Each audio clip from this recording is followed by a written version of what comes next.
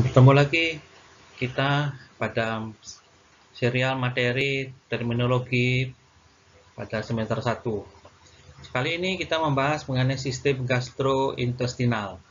Terminologi pada sistem gastrointestinal. Sistem gastrointestinal memiliki tiga fungsi. Yang pertama adalah pencernaan, yaitu proses memecah makanan dengan cara mengunyah, menelan, dan mencampurkan cairan pencernaan untuk mengubah sebagian makanan menjadi molekul yang dapat diserap. Yang kedua, fungsi kedua adalah absorpsi, penyerapan, yaitu lewatnya molekul makanan yang dicerna melalui dinding usus dan masuk ke aliran darah untuk dibawa ke sel-sel tubuh. Fungsi ketiga adalah ekskresi, yaitu mengeluarkan nutrisi yang tidak dapat diserap dan produk limbah dari tubuh. Pertama, kita lihat adalah terminologi tentang combining form yang terdiri dari root dan cara menyambungnya. Yang pertama adalah yang kita lihat sebagai abdomino, itu artinya perut, ya, abdomino. Abdomino, perut, atau kadang-kadang orang bilangnya adalah selo atau laparo, ya. Abdomino, selo, seli atau selio dan laparo. Misalnya laparoskopi, laparotomi. Ya. An, ano itu adalah dubur atau anus, ano. Appendiko, appendix khusus buntu. Bili atau kole itu dalam bedu, ya, bili rubin. Ya. Kole itu dalam bedu. Buko itu pipi, bukal, ya. Selo itulah bibir, selo bibir kolo atau kolon, kolono itu adalah usus besar, ya. kolo, kolono.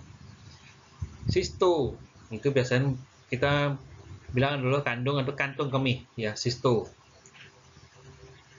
Denti atau dento itulah gigi, ya dentis, dokter gigi dentis. Doko itu adalah saluran, duodeno adalah usus 12 jari atau duodenum. Kemudian ada juga namanya adalah entero, ya, usus halus, esopago, ya, esopagus itu kerongkongan, gastro, gaster, ya, itu dalam lambung. Gingivo, gusi, gingiva, gloso atau lingo itu dalam lidah, ya, atau lingo, gloso. Hepato atau hepatiko, hati. Hernio, hernia, ya, herni, hernio. Ilio itu adalah ilium, usus halus bagian dari usus halus, ilium. Inguino atau inguinal itu selangkangan. Jejeno itu adalah jejenum, ya, usus halus yang kosong, ya. Yang bagian kedua. Lito itu batu, ingat ya, lito batu. Kemudian mulut adalah oro, stomato, misalnya oral, ya. stoma, stomatitis, yaitu adalah radang di mulut.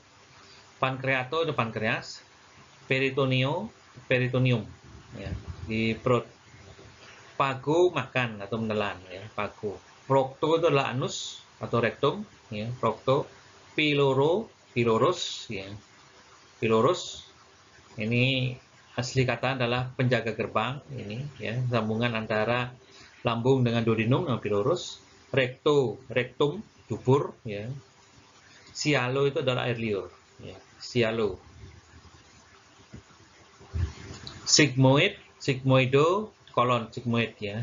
Kolon, baik setelah kolon yang paling terakhir namanya kolon sigmoid, kemudian steato, lemak, steato. Kemudian ada yang istilah adalah emesis, muntah ya. Emesis itu adalah sufiks. Nah, setelah kita melihat adanya suatu apa namanya itu combining form, kita mulai belajar tentang term-term yang dipakai untuk di anatomik ya anatomik pembagian-pembagian anatomi kita lihat sini. Oral cavity ingat ya oro itu mulut. Jadi rongga memakan pencernaan ini rongga mulut ya. di mulut itu ada salivary gland gland ini ya gland. Oke jadi ada kelenjar lidah ada tiga pasang yang besar yaitu parotis ya parotis di pipi submandibular atau sub submandibular jadi di bawah mandibula dan kelenjar sublingual ya. sublingual. Ini submandibular, ada submasilari juga ada. Ini biasanya ini submasilari masih lebih kecil dan ada sublingual yang besar. Cik itu pipi, ya, dinding lateral dari mulut, cik atau bisa orang bilang juga bukal, ya buko, bukal, lips, struktur bedage yang mengelilingi mulut, lips, palat itu adalah langit-langit. Langit-langit ada langit-langit keras dan langit-langit lunak. Jadi ada soft palat dan hard palat ya atau palatum. Kalau bahasa Latinnya adalah palatum mole dan palatum durum. Mole itu lunak, durum itu keras. Ovula, ovula dan yang tergantung di tengah-tengah kalau kita buka mulut tergantung tengah-tengah itu namanya ovula. Orang Jawa bilangnya intil-intil. Tang itu adalah lidah. Ya. Nah, dalam lidah, depan lidah ada namanya frenulum, ya, yang mengikat. Ini ke sistem gastrointestinal yang kita bahas, ya. Ini mulai dari rongga mulut, ya, esophagus, kemudian masuk ke lambung, lambung, kemudian setelah lambung, ini yang namanya pylorus di sini, pylorus, kemudian masuk ke duodenum, ya, duodenum, kemudian masuk ke jejunum, ilium, masuk ke usus besar. Dan kemudian ada organ-organ aksesoris, yaitu adalah hati, kemudian ada pankreas, dan ada kandung empedu, ya, gallbladder.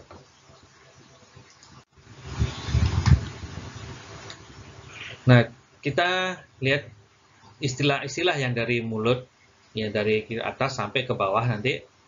Ini mulai ada gusi, ya, gum, ini menutupi prosesus rahang. Prosesus ada tonjolan. Kemudian ada gigi. Eh, setelah itu ada faring.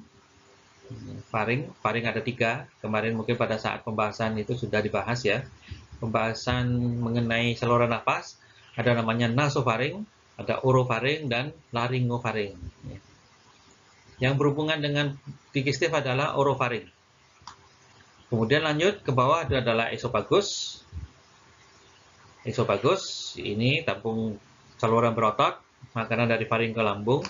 Kemudian masuk ke gaster, ya. Stomach itu gaster.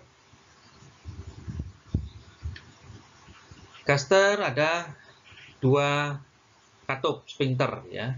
Sphincter ada dua katup yaitu ada kardiak sphincter.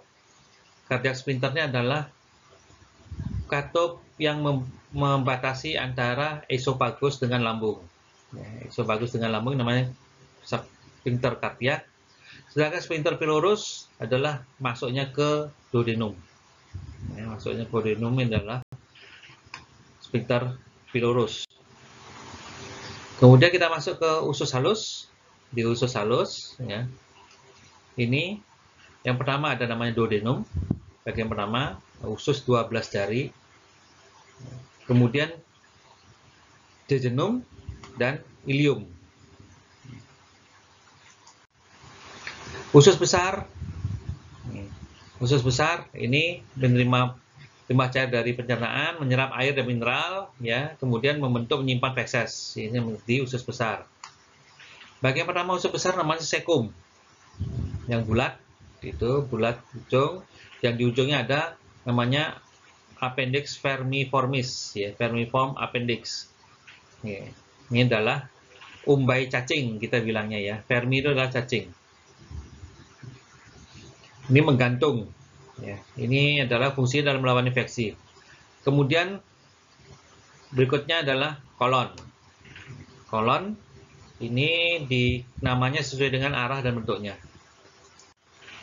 Kolon yang pertama dari sekum adalah ascending. Ascending itu naik. Ya. Naik, jadi dia dari sekum dia akan naik ke atas, ya. kemudian transfer itu melintang ya. melintang kemudian descending itu yang turun ya. kemudian sigmoid itu yang bentuk seperti S ya setelah turun dia bentuk S itu sigmoid setelah itu masuk ke rektum Nanti di atas rektum, di atas ada namanya rektal ampula. Ya. Ampula. Jadi usus besar itu mulai dari sekum, ya, kemudian naik, ascending, transfer, kemudian descending, sigmoid, dan rectum. Kemudian ada anus. Dari rektum paling terbukaan lubang keluar namanya anus. Istilahnya ada istilah feses adalah yang dikeluarkan dari usus besar namanya feses. Proses mengeluarkan feses dari usus namanya defekasi ya, defecation. Defekasi itu adalah evakuasi feses dari rektum. Kemudian di usus di dalam perut juga ada namanya peritoneum.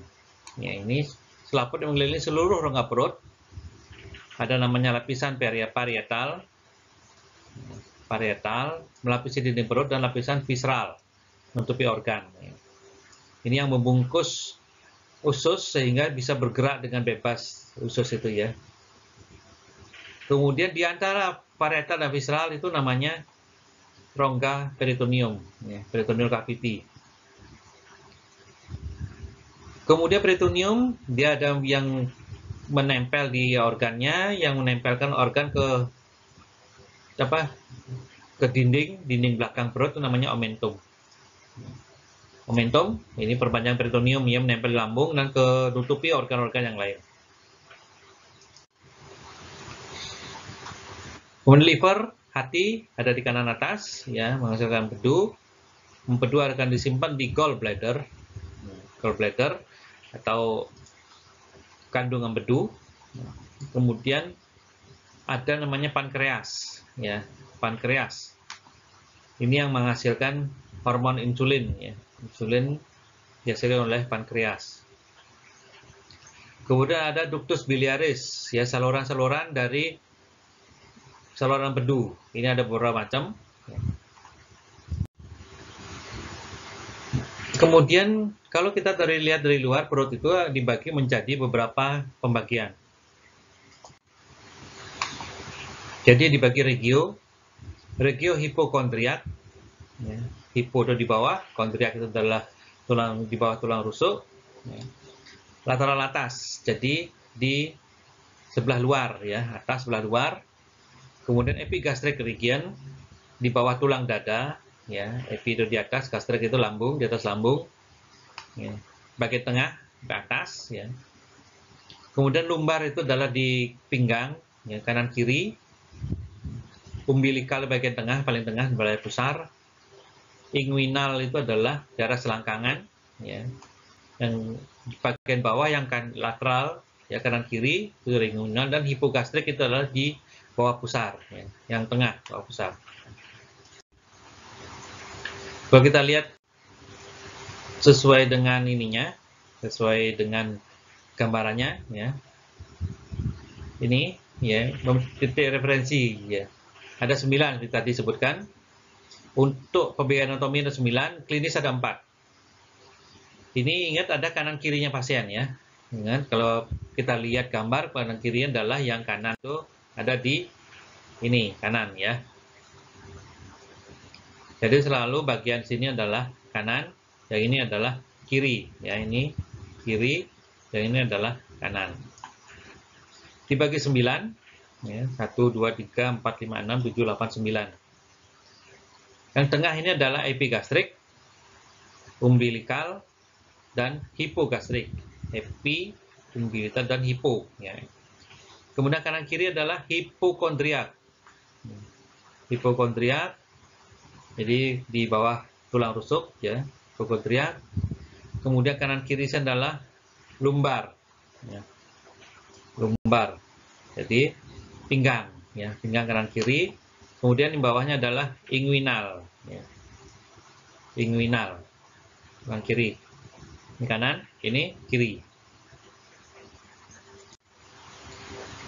Nah, sebagai klinis biasanya dibagi menjadi empat bagian, yaitu kuadran dibagi kuadran yaitu yang pertama adalah right upper kuadran kanan atas kuadran kiri atas kuadran kanan bawah dan kuadran kiri bawah.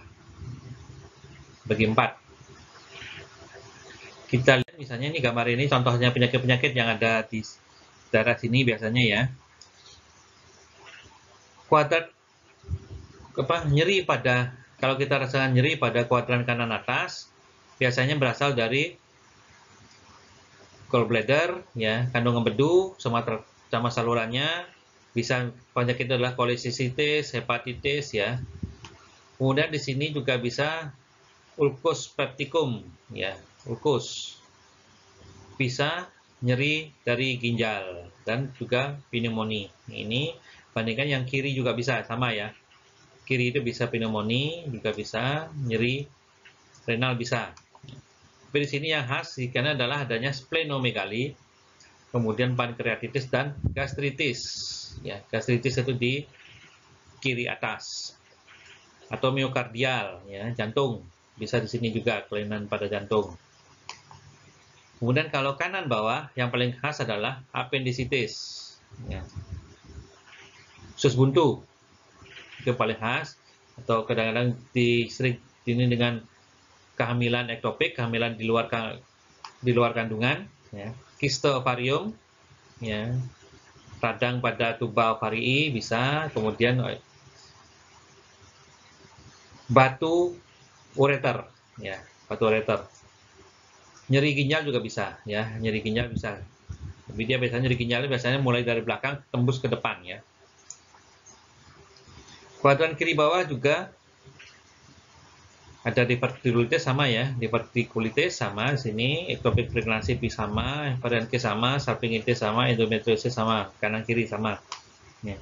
karena organ perempuan itu biasanya dia bisa kanan kiri nyerinya ya. kita sedikit lihat mengenai gejala-gejala ya apa terminologi dari gejala yang mana ada istilah anoreksia kehilangan nafsu makan. Oreksia itu adalah nafsu makan, jadi anoreksia, jadi tanpa nafsu makan. Apagia, ya. pagi bagus itu adalah menelan, jadi apagia tidak mampu untuk menelan. Kalau dispagia, nyeri pada saat menelan. Asites, itu askos itu kantung ya. Jadi akumulasi cairan di rongga peritoneum itu itu adalah asites Bukal itu berarti kelainan di pipi, diare itu sering buang air besar atau tinja cair, itu adalah diare. Lawannya adalah konstipasi, ya. Buang air besar jarang tidak lengkap, bisa tinja yang keras dan nyeri, ya itu. Konstipo adalah saling menekan artinya ya. Ini adalah gambaran seorang yang asites ya. Jadi ada tumpukan cairan, ini sih cairan di perut. Dispepsia, gangguan pencernaan, semua jenis gangguan pencernaan istilah adalah dispepsia. Ya. Dispagia dari sudah, sudah menelan, eruktasi itu bersendaya, bersendawa, ya, cekuan, eruktasi, kemudian flatulence, ya, adanya gas, ya, flatulen. Di lambung ada usus, ya, flatus itu adalah hembusan, ya, flatulen itu adalah adanya gas. Halitosis, ya, bau mulut, halitus itu adalah nafas, ya. halitosis adalah bau yang keluar dari mulut. Hematemesis, hemato dan emesis. Ya, hemato itu darah, emesis itu muntah, jadi muntah darah. Sedangkan hematocesia, hematocesia itu adalah darah di tinjanya. Ya. Ceso itu buang air besar, hematocesia. Jadi nanti bedakan dengan hemato, eh, dengan melena, bedakan ya sama-sama keluar darah, tapi hematosesianya adalah darahnya masih merah, ya. sedangkan nanti melena itu darahnya hitam. Hepatomegali, pembesaran hati, ya. hepato itu hati, megali itu besar. Hiperbilirubinemia, bilirubinnya berlebihan. Ya, hiper, jadi hiper berlebihan bilirubin, ya kandungan bilirubin dan emia itu di darah. Ecterus jaundice di kuning. Perubahan warna kulit pada kulit kuning ya. Terutama di, bisa dilihat pada sklera atau putih matanya. Ini adalah karena berlebihan kandungan bilirubin yang berlebihan. Jaundice itu namanya kuning, artinya kuning. Nah ini melena tadi dibahas ya. Tinja warna gelap ya, karena darah-darah yang lama. Darah lama itu bisa gelap ya. Jadi bisa dilihat kalau dia itu perdarahan di bagian bawah dari usus itu dia ke warnanya terang itu namanya namanya hematoskesia. Tapi kalau berdarahnya sudah lama dari bagian misalnya dari lambung ke lambung, kemudian usus halus, itu biasanya darahnya sudah lama, tinjanya warnanya gelap. Nausea mual, steatorea, ya. Steato itu adalah lemak, ya. Jadi kotoran mengandung lemak. Sublingual, hipoglossus yang sama. Sub itu di bawah, lingual itu lidah, hipo itu di bawah, glossus itu lidah, jadi di bawah lidah. Ini ya contoh dari jaundice ya. Kuning, lihat tangan tangan pemeriksanya beda ya warnanya. Ini warna orang yang hiperbilirubinemia. Kita lihat terminologi dari diagnostik. Ya, kalau tadi dari gejala, kita lihat dari diagnostiknya dulu. Yang pertama adalah ankyloglosia. Glosia itu lidah, ankylo itu adalah terikat, ya, kaku. Jadi frenulumnya pendek.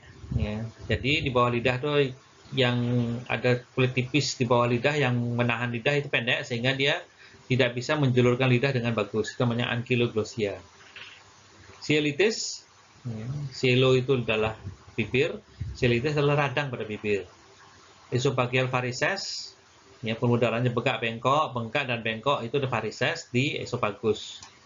Esophagitis itu radang esofagus, gastritisnya gastro dan itis jadi radang pada lambung. Kemudian penyakit yang sering adalah GERD, ya, gastroesophageal reflux disease ya GERD.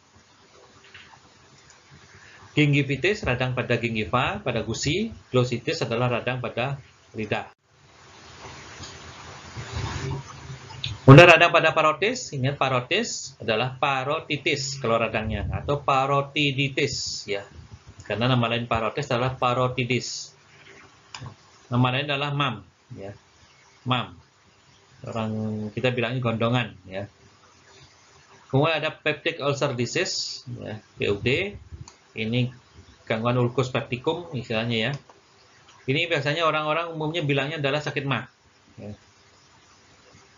Tapi kalau ini sudah dibuktikan bahwa dia ada ulkus, ya. Ulkus. Kemudian ini penyebab paling sering adalah bakteri Helicobacter pylori, ya. Ini penyebab yang paling sering.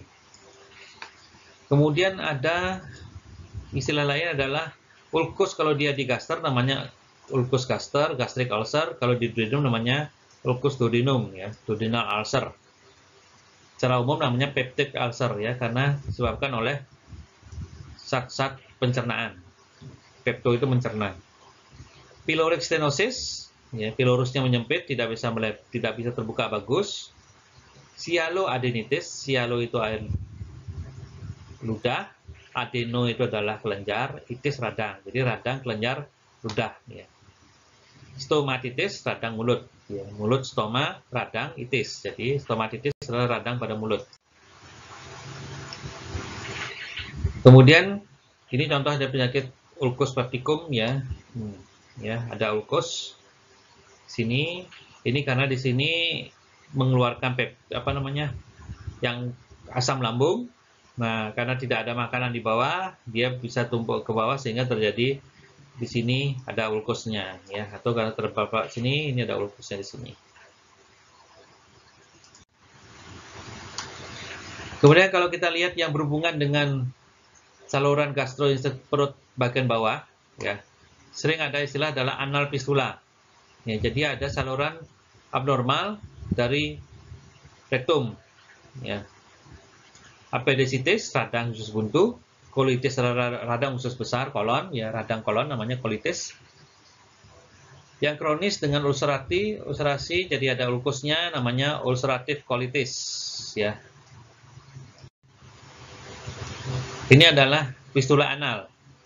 Jadi ini rektum di sini, ya, ini rektum, di sini anus, ya, anus. Harus semua ini, dan ini ada suatu saluran baru di sini. Nah, ini namanya fistula anal ya. Jadi dia di, di luar sini salurannya. Dan ini sering terinfeksi. Kemudian ada polip, polip kolorektal, jadi polip yang berada, polip itu adalah pertumbuhan jaringan lunak pada selaput lendir, ya. Kemudian polip itu bisa bertangkai, ya ada bertangkai, ada yang rata ya di permukaan. Kalau yang bertangkai namanya pediculated, ya itu kaki, berkaki, dan ada yang sesil tidur. Ya. Kemudian juga ada sering adanya adalah diverticulum. Ya. Jadi adanya pembentukan kantong-kantong abnormal, itu namanya diverticulum. Kalau yang nonjol namanya polip, yang masuk ke dalam namanya diverticulum. Kalau banyak diverticulum namanya diverticulosis ya. Kolosis adalah keadaan. Kalau radang namanya diverticulitis. Disentri itu adalah radang usus. Ini diare, biasanya kadang-kadang tidak diare, bisa juga tenesmus atau cuman apa namanya nyeri-nyeri perut. Kemudian biasanya ada tinyanya berdarah atau berlendir ya. Ini sering disebabkan oleh amuba. Enteritis radang usus kecil, hemoroid adalah ambeien ya venanya vena pada daerah rektum itu varises, bengkok dan bengkak. Kemudian ini diverticulosis ya, ini divertical. Jadi dia tonjolannya keluar dari usus ya. Jadi ini divertikula keluar dari usus. Kalau banyak namanya divertikulosis. Ini lubangnya. Kalau dia tonjolannya ke dalam usus namanya polip. Kemudian sering didengar juga adalah hernia. Ya. Penonjolan bagian dari lokasi normal, itu namanya hernia. Hernia, ada yang hernia hiatal, hiatus hernia. Ini bagian lambung atau bagian dari perut itu ada yang keluar melalui lubang yang di diafragma. Jadi antara masuknya apa namanya itu lambung, lah masuknya esofagus ke lambung yang di dalam di melalui diafragma itu longgar sehingga bagian perut yang bisa masuk keluar dari ini masuk ke torak ya, ke dada. Kemudian yang paling sering sering juga, ini adalah hernia inguinalis ya. Hernia di daerah selangkangan. Kemudian ada istilah hernia incarcerata. Ya. Ini hernianya bengkak, tidak bisa keluar masuk. Ya, jadi dia incarcerata, ya terfiksasi. Jadi kalau hernia itu bisa keluar, kemudian bisa masuk sendiri lagi. Nah, itu namanya masih hernia reponibilis ya, reponible. Nah, ini incarcerata. Jadi dia terkunci, tidak bisa masuk. Sedangkan kalau dia bandingkan dengan strangulated, ini adalah pembuluh darahnya, karena dia terkunci, pembuluh darahnya mati ya. Pembuluh terputus, sehingga dia jaringan bisa mati menjadi gangren. Itu adalah strangulata. Hernia umbilikal, ada hernia di daerah umbilikus ya, daerah pusal, pus, pusar ya di sana dia keluar dari sana jadi orang bilangnya adalah hernia umbilikus nah ini hernia hiatal ya jadi begitu tempat masuknya dia ini diafragma ya ini diafragma diafragma ini harusnya masuk kemudian eh, tempat ini longgar ya longgar sehingga ada bagian yang keluar bagian lambung yang naik ke dan bagian dada torak. Bahkan kadang-kadang ini sebagian masuk semua ya. Sehingga pasiennya sesek. Kemudian hernia hernia inguinal. Ya, hernia inguinal jadi ini sering jadi keluar lewat lubang dari saluran yang ke menuju ke testis ya, testis. Ini longgar, usus bisa masuk ke sini bahkan kadang-kadang bisa sampai masuk ke testis ya. Besar testis. Berikutnya adalah ilietis, radang usus halus, ya, bagian bawah yaitu ilium, radang pada ilium namanya ilietis. Kemudian ada istilah adalah intussuscepsi, ya, intussusception, prolap satu bagian usus ke dalam lumen bagian yang berdampingan. Ya, intus itu dalam, suscipien adalah mengambil. Peritonitis, radang peritonium, proctitis radang dari anum, anus atau rektum, ya, proctus, Volvulus ini adalah ususnya terpuntir, ya, terpuntir. Ya. Volvo itu adanya berguling ya, terpuntir, memutar. Ya. Ini adalah intussusepsi. Ya. Jadi bagian usus yang depan masuk ke bagian usus yang belakang. Ya. Jadi masuk. Jadi seolah-olah bagian usus belakang itu memakan yang depan. Ya. Adalah. Ini adalah volvulus, ya, terpuntir. Jadi ini dia salah bergerak sehingga terpuntir. Ini dua-duanya berbahaya karena akan menyebabkan saluran pemberdarahan di sini terputus sehingga ini adalah menjadi mati ya, usus ini mati. Kemudian yang berhubungan dengan organ-organ aksesori, misalnya ini adalah kolangitis, ya, radang saluran empedu. Kolesistitis, radang kandung empedu, ya. Jadi bedakan. Kalau kolesistitis kandungnya, kandung-kandung empedunya, kalau kolangitis adalah salurannya. Koledokolitiasis, batu di saluran empedu. Kolelitiasis, nah ini semua semua batu yang ada di kantung empedu atau saluran empedu namanya kolelitiasis. Kalau khusus di saluran empedu yang bagi yang besar namanya koledokolitiasis. Sirosis penyakit hati kronis ya, degenerasi jaringan hati sering karena alkohol. Ya. Siro itu ada kuning. Ya, ini biasanya gejalanya adalah pasiennya kuning. Kayak namanya sirosis. Hatinya menguning kelihatan ya, hati kuning hatinya rusak orang biasanya menyebutnya sakit lever. Ya. Memang penyakit itu pada di lever-lever adalah hati. Ini tempat batu empedu, ya, pada gallbladder bisa, kemudian pada saluran-salurannya. Ini adalah ductus cysticus, ductus hepaticus, ductus hepaticus communis, ya, common hepatic duct, kemudian ductus biliaris communis, ya, gabungan antara cysticus sama hepatikus itu adalah ductus biliaris komunis ya. Gabung common. Ini tempat-tempat batunya paling sering di gallbladder ya. Kemudian ada hepatitis? Ya, hepatitis A, B, C ini paling sering. Sekarang sudah ada namanya hepatitis D ya hepatitis E sudah ada. Hepatitis A ini adalah secara oral ya mulut. Ini karena kontaminasi, kontaminasi makanan ya. Hepatitis B ini ditularkan melalui seksual dan darah ya. Sama juga C. C ini melalui darah.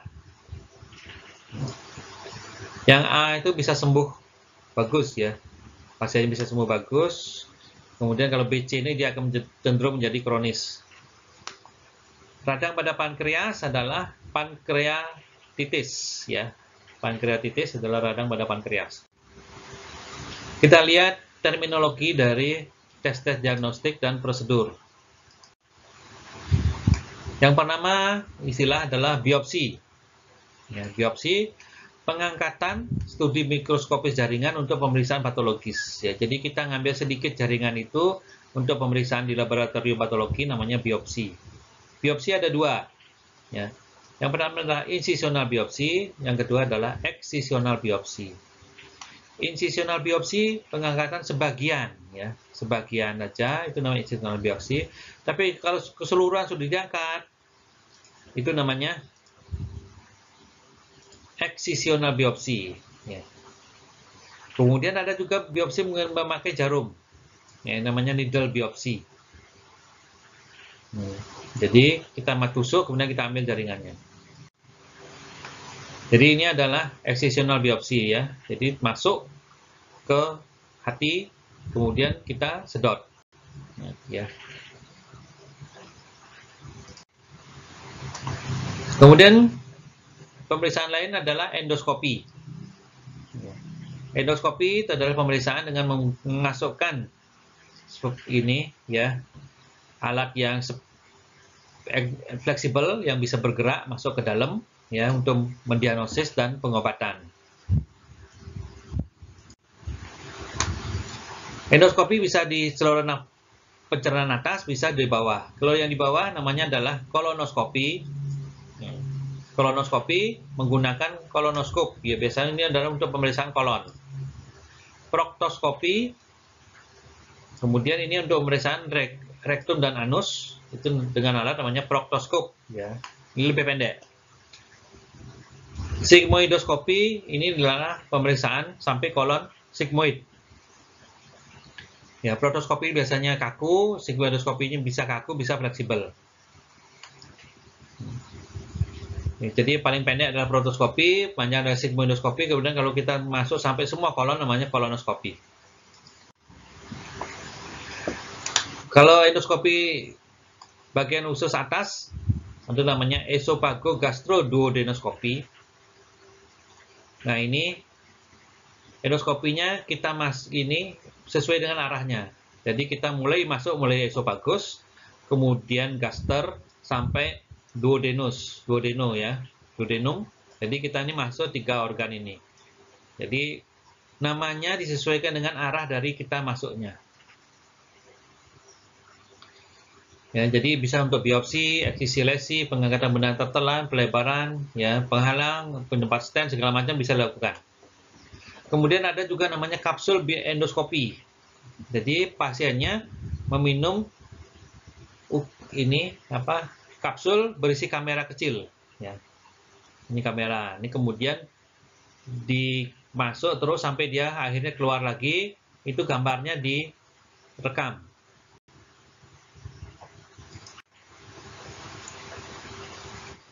Ini contoh endoskopi di gastrointestinal ya. Ya, jadi ini usus, jadi bisa dimasukkan ya. Jadi nah ini alatnya. Alatnya ada kameranya ya, sehingga kita bisa melihat di dalamnya. Kemudian ini ada, ada alat untuk tindakannya ya, mengambil sesuatu bisa bisa dilihat untuk mengarahkan ya. Dia memakai fiber optik ya. Oke, fiber optik Ini contoh hasilnya ya esofagus, varises esofagus. Ya kita lihat pembuluh darahnya ini adalah belok-belok bengkok-bengkok ya varises ya. Varises nah ini risiko untuk pecah.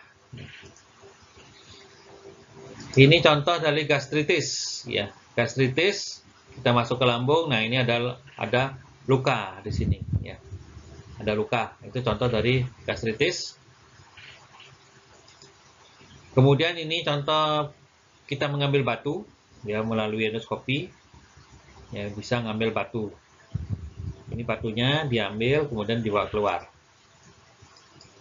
Ini adalah contoh peng, apa namanya di polip ya, polip ke atas kemudian di apa namanya ditarik, diikat ya, kemudian di apa namanya itu di counter ya dibakar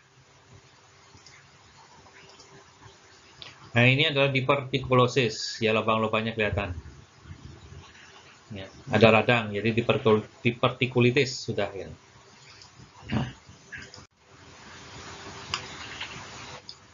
Kemudian untuk endoskopi pada ini kita bisa lakukan adalah ERCP ya pada organ-organ aksesori. Nah, kita bisa lihat ini kolangio pankreato ya. Jadi kita bisa melihat saluran dari empedu dan saluran dari pankreas. Ya. Ini ECR, ERCP istilahnya. Kemudian ada laparoskopi. Laparoskopi itu membuat lubang di perut, kemudian memasukkan alat laparoskop ya, yang ada kameranya untuk melakukan tindakan di dalam. Nah ini laparoskopi. Ya, jadi laparoskop kita masukkan, ya, kemudian kita bisa melakukan tindakan di dalam mau operasi ngambil yang bisa ya. Kemudian kita lihat pemeriksaan-pemeriksaan yang memakai imaging, ya, pencitraan, memakai sinar. Yang pertama adalah sering kita pakai adalah MRI, ya, magnetic resonance imaging. MRI ini memakai non ionizing ya, jadi tidak memakai sinar X. Ya ini tapi dia memakai magnetic magnet ya. Kemudian yang paling sering kita lakukan adalah radiografi biasa ya. Upper GI series. Upper GI series. Ini dari esophagus lambung dan duodenum ya. Jadi pasien menelan dulu menelan barium ya. Jadi menelan cairan seperti barium ini seperti cairan biasa tapi ditelan tapi di foto akan kelihatan kelihatan arah arahnya ke mana nanti. Ini foto polos, ya radiografi biasa, X-ray biasa kita ngomongnya. Ini, ini menelan peniti sama ini ya peniti, sama nah ini ya peniti hias ada tajamnya, kelihatan dia. Nah ini ngambil pakai endoskopi ya bisa. Ini bahayanya dia kemudian dia terbuka bahayanya.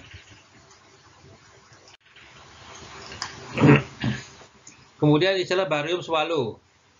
Ya.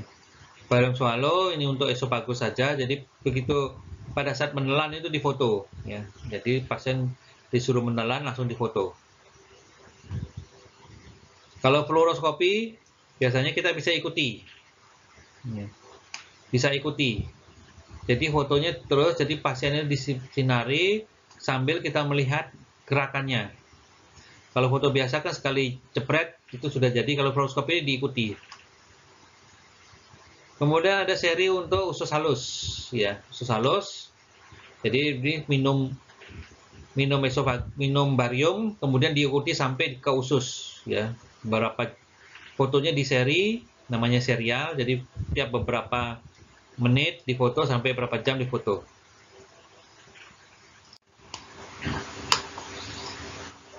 Ini esofagus ya, diminum, minum barium kelihatan. Barium itu kelihatan di foto adalah dia putih ya, radio opak padahal ininya bening ya. Jadi kayak bisa kayak susu atau bening. Nah, ini kemudian Nah, kelihatan di sini ada hernia hiatus. Ini harusnya masuk di dalam diafragma. Ini kan diafragmanya di sini. Ya, ini sudah keluar dari diafragma ini, ini ini sudah ada di rongga dada. Kemudian kalau di untuk usus besar ya, yang paling sering namanya adalah barium enema ya. Barium enema. Jadi ini barium disuntikkan lewat anus ya, lewat anus disuntikkan sehingga disuntikkan ke atas di foto. Kolangiogram adalah gambar sinar X dari saluran empedu. Saluran empedu disuntikkan cairan kontras kemudian difoto. Namanya kolangiogram Kolesistogram ini kandung empedu. Ya. Sis, kis ya. Kis itu adalah kandung. Jadi gambar kandung empedu. Kalau kolangio itu adalah saluran empedu. Kemudian sering juga dilakukan sekarang adalah CT scan ya. CT adalah computed tomography ya. Jadi adalah gambar yang di tomografi adalah suatu pencitraan di mana itu ada dipotong-potong ya. Tomografi dipotong-potong tapi dengan gambar komputer kemudian di, bisa digabungkan lagi. Ini barium enema. Ya, disuntikkan dari bawah. Ya, suntik kemudian di, kita ikuti diikuti. Nah, ini kemudian ada yang keluar. Ini adalah apa namanya divertikulum yang pecah, ya kelihatan. Dia keluar. Menyemprot keluar ya. Kemudian pemeriksaan berikutnya adalah dengan menggunakan suara, ya, sonografi. Biasanya kita sebut adalah USG, ya, ultrasonografi. Yang pertama sering adalah abdominal sonografi, ya. Jadi kita memakainya untuk memeriksa hati, pankreas, kandung bedu, limpa, dan aorta. Kemudian ada juga endoskopik ultrasonografi jadi dimasukkan ke dalam, ya, ke dalam sehingga bisa melihat yang lebih dalam, ya, endoskopik. Jadi ultrasonografi dimasukkan lewat endoskopi. Nah ini prosedur endoskopi. Ya. Untuk hati kita lihat ini gambarnya bisa terlihat karena memakai suara ya, gelombang suara yang kemudian ditangkap. Ini hasilnya Hasilnya ini ada batu kelihatan. Jadi kalau dia itu tidak ada halangan, itu akan lancar, ya, dia akan lancar. Nah ini karena ada batu, ada yang menghalangi saluran itu suara itu ke bawah. Nah ini kelihatan dia ada yang bagian yang hitam, ya. Ini adalah karena halangan adalah suatu halangan yang padat, ya, batu. Kemudian pemeriksaan pada feses, stool feses ya. Yang pertama adalah culture and sensitivity pada feses. Jadi kita untuk melihat penyebab penyakit. Kemudian di kultur untuk melihat menumbuhkan kumannya, kemudian sensitivitinya dia sensitif terhadap obat apa. Pemeriksaan ini. Kemudian ada juga tes kimia untuk melihat adanya darah, ya, darah. Ini okul ini tersembunyi, artinya okul itu tersembunyi. Jadi pemeriksaan darah tersembunyi dari feses, ya.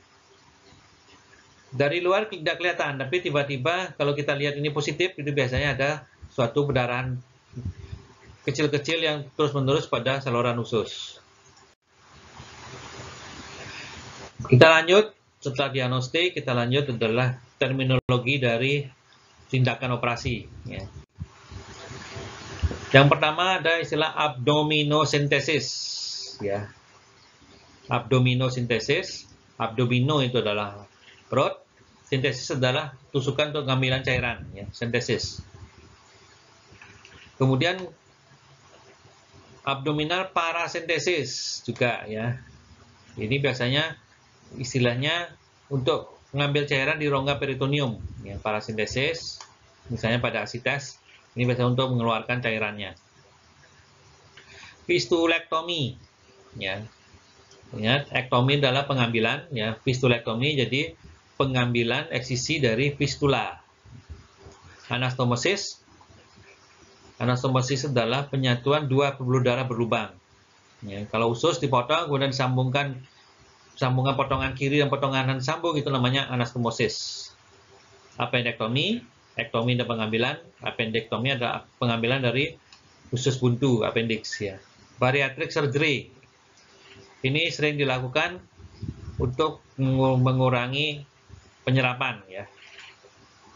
Jadi ususnya dipotong ya, di ukuran lambungnya diperkecil usus apa lambung dipotong atau ususnya dipotong untuk memperpendek usus dan mengecilkan lambung. Sieloplasti perbaikan bibir, ya ingat plasti itu adalah operasi perbaikan, ya, operasi plastik. Sielo itu adalah bibir, perbaikan bibir. Kolesistektomi, ingat ektomi adalah operasi pengambilan, ya eksisi kandung bedu. Nah, kalau dilakukan kolesistektomi dengan laparoskopi, namanya laparoskopik kolesistektomi. Ya. Bisa. Kolostomi, ingat, kolon sama ostomi ini pembuatan lubang. Ya. ya, ostomi adalah kita membuat lubang baru. Ya, itu namanya ostomi. Esopagoplasti. Ingat, plasti adalah operasi perbaikan ya. Ini perbaikan esofagus. Ini adalah kolostomi ya. Usus kita buatkan lubang. Nah, ini kita buatkan lubang di sini ya pada kolon ascendant. Jadi misalnya ada kelainan di sini, ya kelainannya di sini kita buatkan jadi tidak lewat ini dia, tidak lewat usus dari anus keluarnya dikeluarkan lewat sini. Kita di kolon transversum kalau kelainannya di daerah sini ya. Versum kalau kelainannya di daerah sigmoid kita keluarkan dari kolon descendant. Ya, kemudian kalau sigmoidnya, kalau keluar di, rektum, ya kita keluarkan dari sigmoidnya. Gastrektomi. Ini pengangkatan sebagian atau seluruh dari gaster ya. Gastro dan ektomi. Ingat ya. Kalau ada dua huruf hidup, satu huruf hidupnya dihilangkan ya. Gastronya hilang, pakai ektomi saja, gastrektomi. gastric resection namanya ya reseksi ya. sebagian lambung diambil reseksi sama ya pengambilan gastroenterostomi ingat Gastro, entero, ostomi. Adalah pembuatan lubang. Ya, pembuatan lubang baru. Jadi pembuatan lubang baru antara gaster sama usus, ya usus halus. Jadi kalau itu ada pemotongan, kemudian disambungkan langsung dari usus langsung ke lambung. Jadi tidak lewat usus 12 hari mungkin hilang ya. Glosektomi, glosoektomi jadi lidahnya diambil ya. Kalau glossorapi ingat, rapi ini adalah penjahitan ya. Jadi glossorapi adalah tindakan penjahitan pada lidah. Hemoroidektomi pemotongan pengambilan dari hemoroid ya ambeien atau wasir. Hepatic lobectomy, lobus ya, lobo dan ektomi. Jadi pengambilan salah satu lobus dari hati ya. Hati itu ada dua berapa lobus, jadi diambil satu lobus. Herniorapi ya.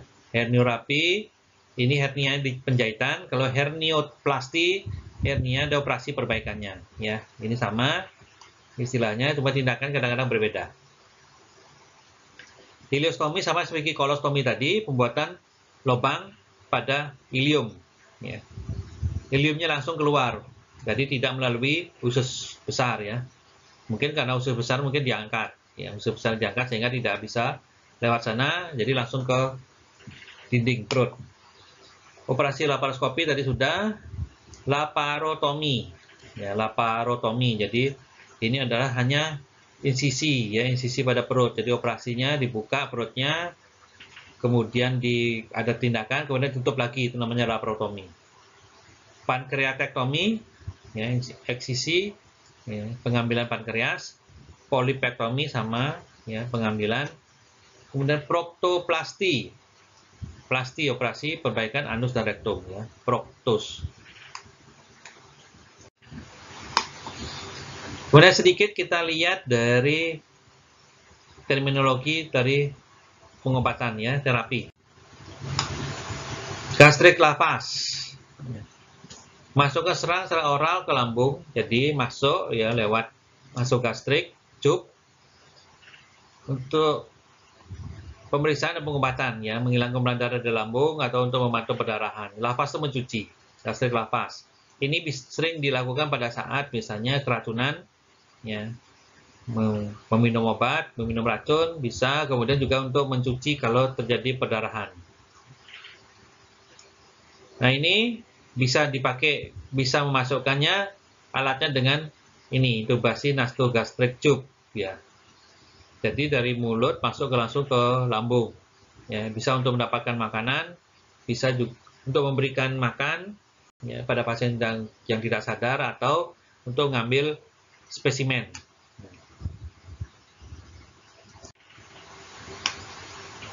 Obat-obat yang sering dipakai misalnya adalah antacid ya, untuk menetralkan asam lambung. Anti asid, ya ini adalah antacid dan anti asid, jadi asid itu lambung asam. Ya. Kemudian anti emetik, ya. emetik itu muntah, jadi obat-obat yang untuk mencegah atau menghentikan muntah.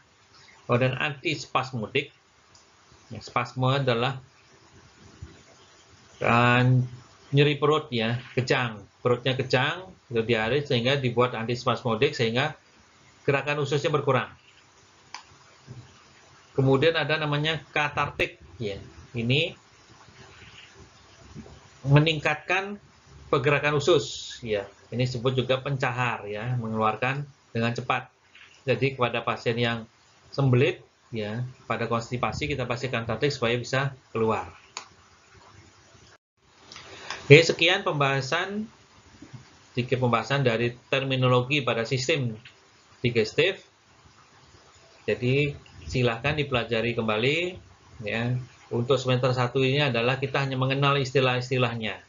Mengenal istilah untuk tindakan terminologi yang dipakai pada pembahasan-pembahasan pada sistem digestif yang akan selanjutnya akan dibahas pada semester-semester berikutnya. Sekian, terima kasih. Selamat belajar.